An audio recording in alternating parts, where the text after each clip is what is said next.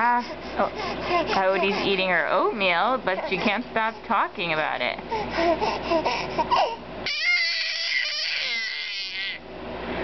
it's a very intense experience.